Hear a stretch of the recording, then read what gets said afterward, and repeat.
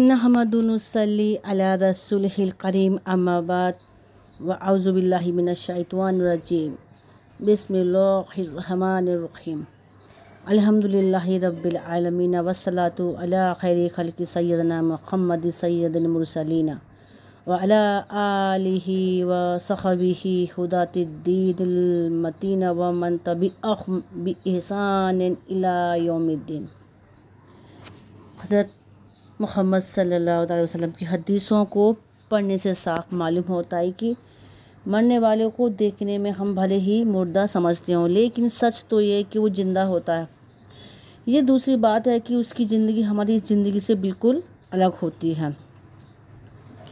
मौत के बाद से क़्यामत कायम होने तक हर आदमी पर जो ज़माना गुजरता है, उसको बजरक कहा जाता है। बजरक का मतलब है कि पर्दा और आड़ ये ज़माना दुनिया और आखिरत के दरमियान एक आड़ होता है इसलिए उसे बजरक कहा जाता है। यानी कि इंसान की रूह निकल कर बजरक की दुनिया में चली जाती है इसे हम नहीं देख सकते।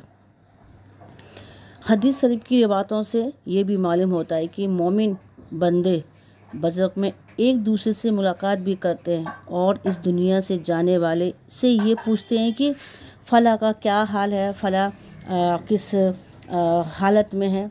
सईद जुबैर रहमत रहमतुल्लाह फरमाते हैं कि जब मरने वाला मर जाता है तो बजरक में उसकी औलाद उसका इस तरह इस्तकबाल करती है, वेलकम करती है, जैसे कि दुनिया में किसी बाहर से आने वाले का इस्तकबाल किया जाता हो, स्वागत किया जाता हो।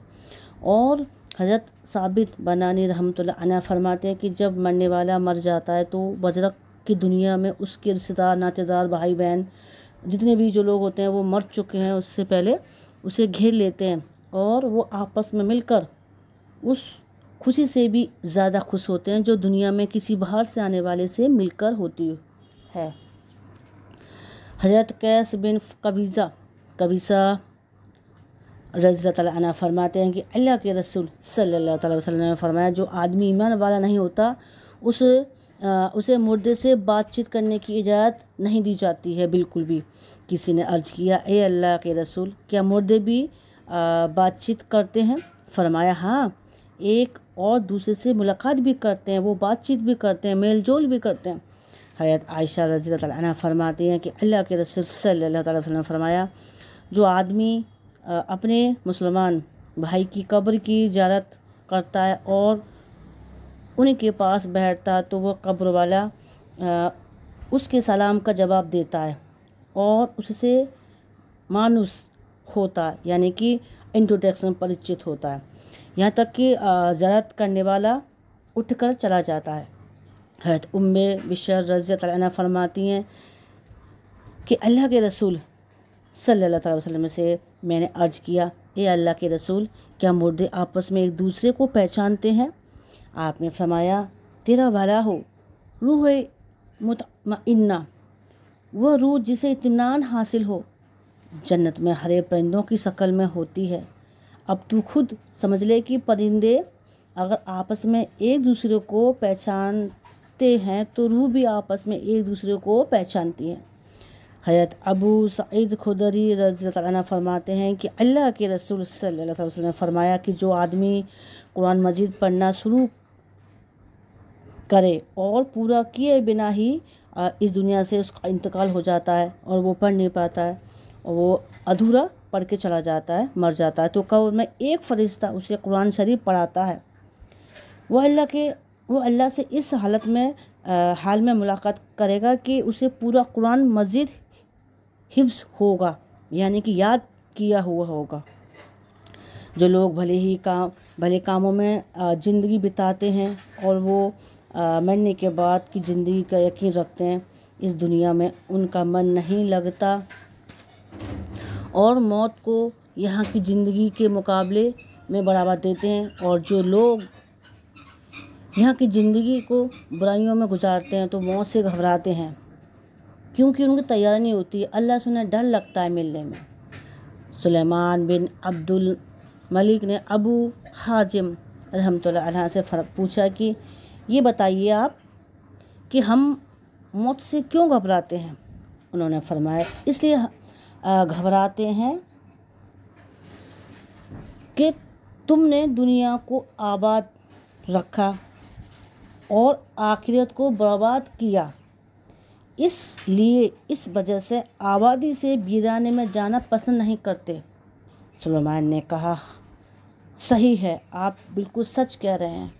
क्योंकि लोगों की तैयारी नहीं होती है। अल्लाह की बारगाह में, अल्लाह के सामने खड़े होने में क्योंकि उन्हें शर्मशार महसूस होती है। इसलिए उन्हें बिरयानी की तरफ़ जाना पसंद नहीं होता है। जिस आदमी को कब्र की ज़िंदगी का यकीन हो और अपने अच्छे कामों के बदले वहाँ अच्छे हाल में रहने की उम्मीद हो और ये समझता हो कि इस दुनिया के दोस्त, साथी, रिश्तेदार, नातेदार भाई बहन पड़ोस को छोड़कर चला जाऊँगा तो बजरक में, यानी उस दुनिया में, रिश्तेदार और जान पहचाने वाले मिल जाएँगे तो फिर मौत से क्यों घबराए? और इस ज़िंदगी को बजरक की ज़िंदगी पर क्यों बढ़ावा दे? अल्लाह के रसूल सल्लल्लाहु अलैहि वसल्लम ने फरमाया, युहिब्बुल इंसानुल हयात वल मौत खैरुल नफ्सी. यानी इंसान ज़िंदगी को प्यार रखता है, ज़िंदगी को आगे रखता है। हालाँकि मौत उसके लिए बेहतर है शर्त यह है कि वो ईमान वाला हो और उसके काम अच्छे हों। कुछ रिवातों से ये भी है कि प्यारे नबी सल्लल्लाहु अलैहि वसल्लम ने मौत को मोमिन का तोहफ़ा बताया है और ये भी फरमाया कि इंसान मौत को नापसंदा समझता है। हालाँकि मौत फितनों से बेहतर है। जितनी जल्दी मौत आ जाएगी उतनी ही जल्दी दुनिया की फितनों से बच सकेगा, गुनाहों से बच सकेगा। खैत अनस रज़ी अना फरमाते हैं कि अल्लाह के रसूल सल्लल्लाहु अलैहि वसल्लम ने फरमाया कि इंसान के दुनिया से इंतकाल करने की मिसाल ऐसी है जैसे बच्चा माँ के पेट की तंगी और अंधेरे से निकलकर दुनिया के आराम व राहत में आ जाता है। मतलब ये कि मोमिन के लिए मौत बड़ी अच्छी चीज़ है बड़ा अच्छा तोहफा है। बस शर्त यह है कि नेक अमल करने वाला हो और उसने अपने और अल्लाह के दरमियान मामला सब ठीक ठाक रखा हो यानी इबादतकार हो, नेक हो। जो बंदे नेक कामों में ज़िंदगी गुजारते हैं, वो मौत को इस ज़िंदगी पर बढ़ावा देते हैं। जो बंदे अब मौत को इस ज़िंदगी पर बढ़ावा देते हैं और यहाँ मुसीबतों और परेशानियों से निकलकर जल्द से जल्द अमन व अमान और राहत व चैन वाली हमेशा की ज़िंदगी में जाना चाहते हैं। खैर, अबू खुरैर रज़ी ने एक बार किसी से पूछा, कहाँ जा रहा है? उन्होंने कहा, कहाँ जा रहे हो? उन्होंने कहा, जवाब दिया कि बाज़ार का इरादा है, बाज़ार जा रहा हूँ। फरमाया, हो सके तो मेरे लिए तुम मौत खरीदते लाना।